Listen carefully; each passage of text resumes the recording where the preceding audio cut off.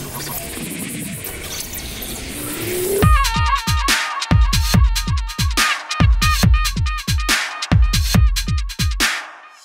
name is Aimee. I am originally Eastern European, but I've been born and raised in London. About a year ago, I decided to compete and I just wanted to take my, my body, my mind to the next level, challenge myself. I didn't actually know the, the sacrifice it took, definitely not. Competing is super hard and it's real discipline.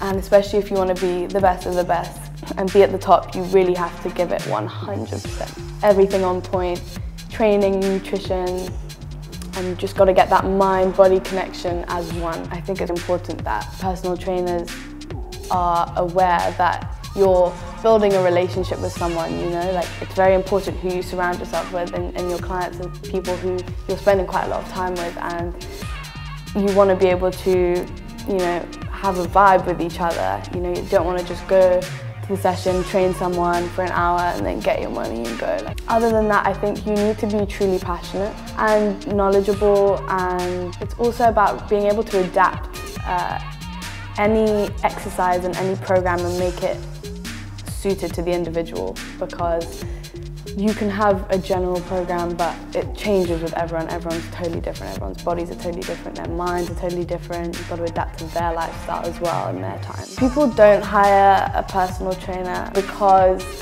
People are scared of going to the gym, I think, and um, the gym scares quite a few people because there's a stereotype to the gym and, you know, people also have, have friends and family who've gone and for months and have had no results, right? So they think, okay, well, what's the point in me spending 50, 60, 70 pounds on an hour on a trainer if I'm not going to get any results?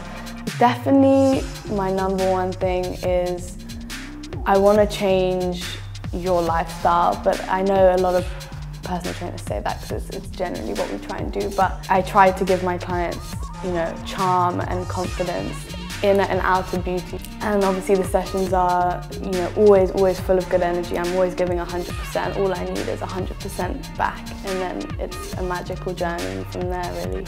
I'd say anyone can really get a certificate. And in terms of knowledge, I, I don't think you can ever stop learning. But in terms of appearance, I think as a PT it's so important you keep your appearance up because after all that's what you're trying to demonstrate, you know, is um, it's what you're trying to help people achieve is an outer beauty that they desire. I mean, as a personal trainer, it's important to invest in photos. The shoot today was awesome. I really felt super, super comfortable in front of the camera.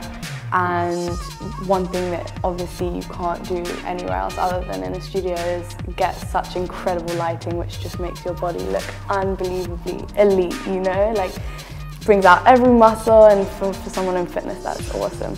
Um, and it was a really, really cool shoot and the music was great and the vibes were always amazing. His energy is awesome, so it was really top.